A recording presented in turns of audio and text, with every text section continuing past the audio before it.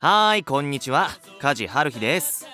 東京カラーソニックを応援してくれているみんないつも本当にありがとう。送ってくれるメッセージや応援一つ一つちゃんと見てるよ。これからもみんなにとって輝き続ける存在でありたいな。俺たちはまだまだパワーアップするよ。これからもよろしく。